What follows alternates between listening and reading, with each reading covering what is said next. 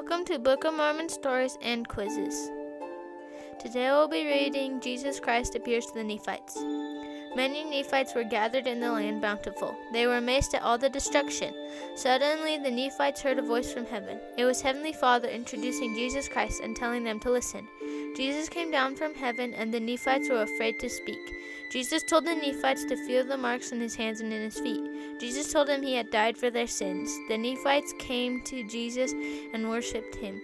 Jesus called Nephi and eleven other men to be his disciples. He gave the disciples the priesthood and taught them how to baptize. Jesus told the Nephites to repent and keep his commandments. Jesus also taught them how to pray and to be kind to one another. The Nephites did not want Jesus to leave, so he told them to bring those who were sick and hurt so he could heal them. Jesus healed the people who were sick and hurt, and the Nephites worshipped him. Then Jesus told the Nephites to bring their children to him. Jesus took the children and blessed each one. Jesus loved the children. Jesus told his disciples to get some bread and wine. Jesus blessed the bread and gave it to the Nephites. He told them that this was called the sacrament. When you eat the bread, you remember the promises you have made to Jesus and think of his body.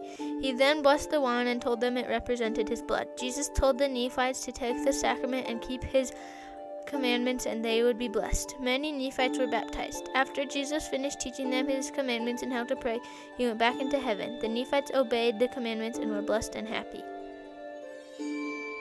Okay, let's test your memory. Name the characters.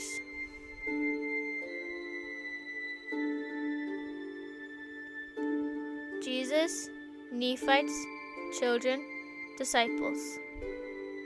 Jesus healed the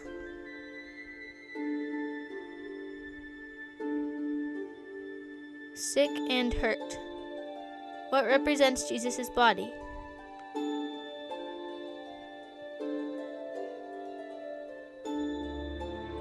The bread. What represents Jesus' blood?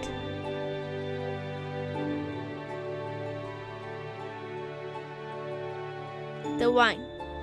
Jesus spent time with and blessed the